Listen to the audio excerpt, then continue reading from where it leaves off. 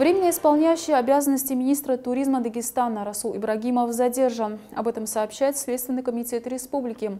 Он обвиняется в создании преступного сообщества и мошенничестве в особо крупном размере. По версии следствия, с 2017 года по сентябрь 2018 года Расул Ибрагимов, будучи тогда еще министром труда Дагестана, создал преступное сообщество – Основной целью было хищение в особо крупном размере бюджетных денежных средств, выделенных на социальное обслуживание граждан.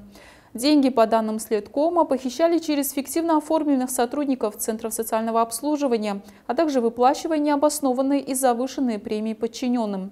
Ибрагимов, как сообщает Следком, совместно с руководителями и участниками преступного сообщества путем обмана похитили средства на сумму свыше 620 миллионов рублей.